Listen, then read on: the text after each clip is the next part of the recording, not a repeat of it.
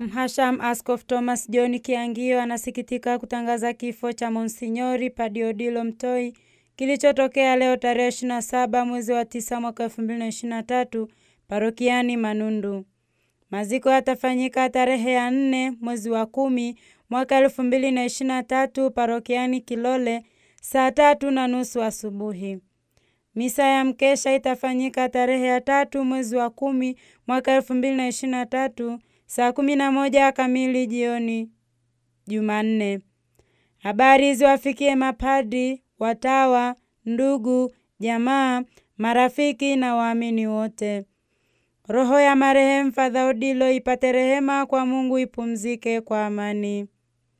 Bwana umjalie pumziko la milele na mwanga wa milele umwangazie, apumzike kwa amani.